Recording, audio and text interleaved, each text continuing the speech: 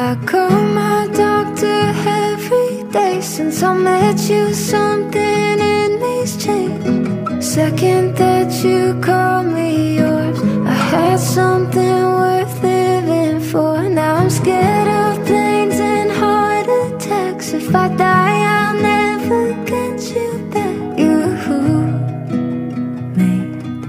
made me.